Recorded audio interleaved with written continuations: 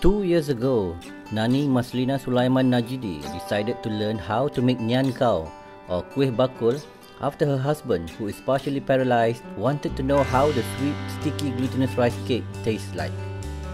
Today, it has become her family's source of income after she posted her hard and laborious work on Facebook.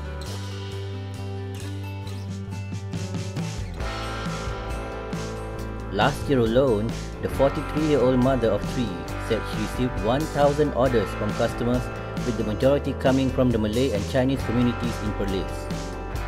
She expects the demand to double this year.